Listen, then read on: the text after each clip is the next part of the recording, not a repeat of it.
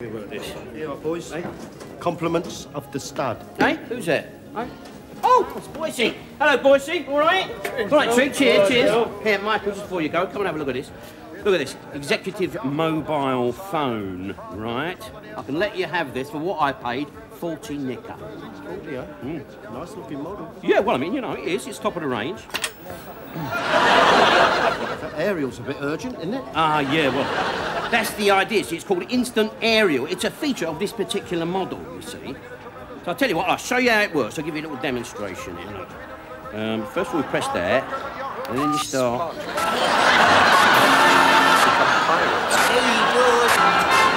Six four when he was five four, and so a double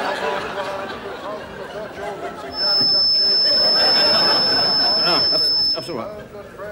Uh, I know what that is. I know that's all right. The satellite has moved out of position, you see. Now, hang about, there'll be another one along in a minute. Right? I think I'll stick to the phone in the public bar, Yeah, and Michael, listen, I'll tell you what I can do. Look, I'll let you have it for 35 quid. I don't mind losing a fiver for a mate. Don't worry, this time next year we'll be millionaires.